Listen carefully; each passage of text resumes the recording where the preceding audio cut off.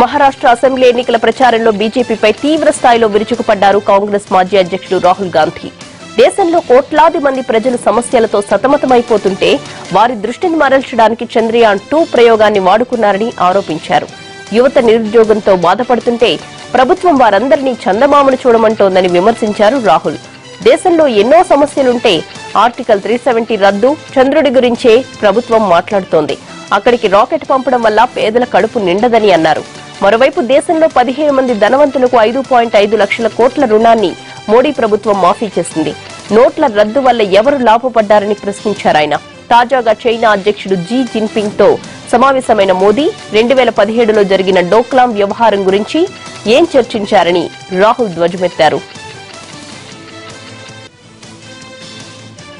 దేశంలో కోట్లాది మంది ప్రజలు సమస్యలతో సతమతమైపోతుంటే వారి దృష్టిని మరల్చడానికి చంద్రయాన్ టూ ప్రయోగాన్ని వాడుకున్నారని ఆరోపించారు.